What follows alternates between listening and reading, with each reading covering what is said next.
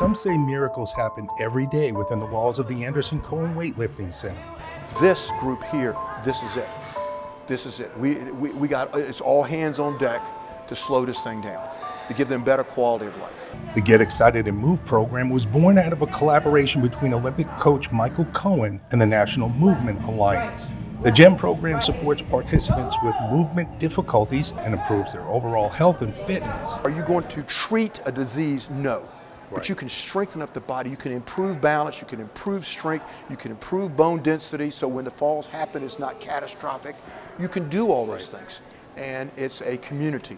Michael recognized a community need that was missing and in turn transformed that vision into a beacon of hope for so many. They can't go to a gym and work out. No one will work with them. No one wants to take a chance on working with. And, and it's, it's a group of people that, that their, their bodies are deteriorating much faster than the average person. And then he noticed something special.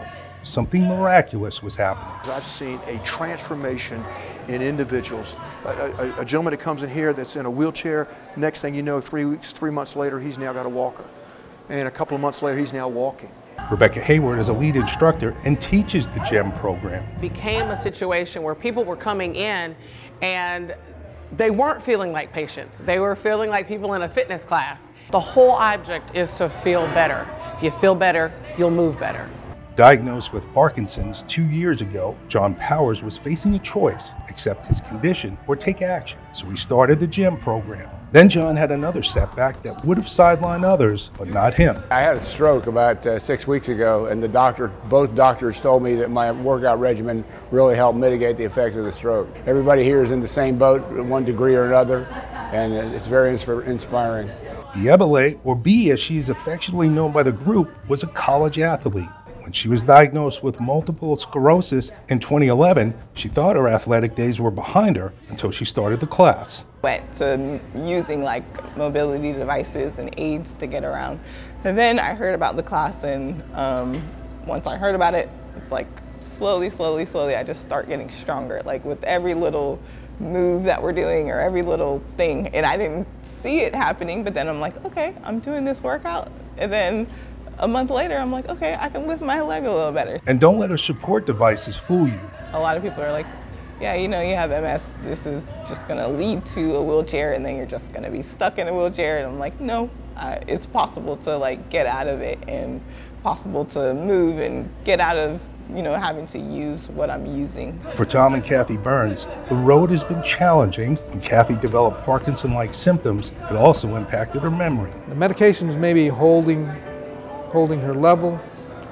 The improvement is coming from this class, I'm, I'm convinced. They say the GEM program has not only helped them face adversity, but strengthened an unbreakable bond together. An inability to always know who's around and who you are and who I am. I'm so proud of how she's been, and she works really hard at it, you know. so I'm really proud of her.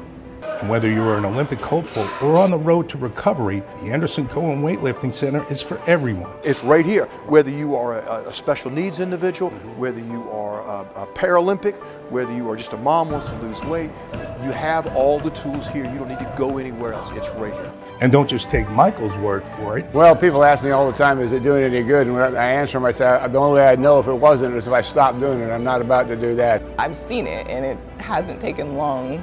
Just staying consistent with it, but it's working and I'm thankful.